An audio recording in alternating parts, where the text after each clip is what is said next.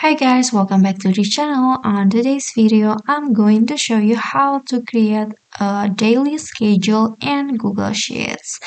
So here I've already on the my drive, my Google Drive and if you want to create the daily schedule, you can just click on the plus icon or the new right here and go to give Google Sheets and don't click it but click on the arrow right here and choose from a template.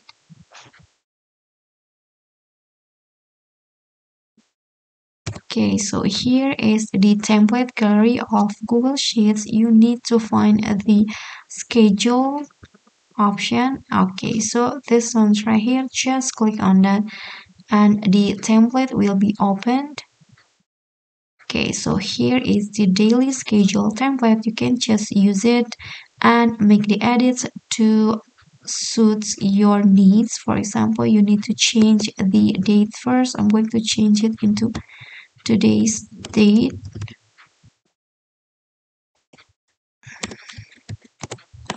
Okay like that and it will automatically change.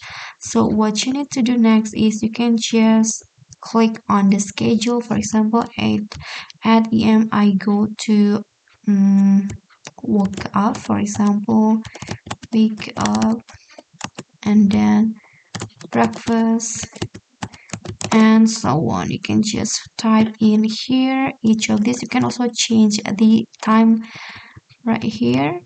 For example i want to change when i wake up into 6 for example and then change the backrest into 630 and so on and so on.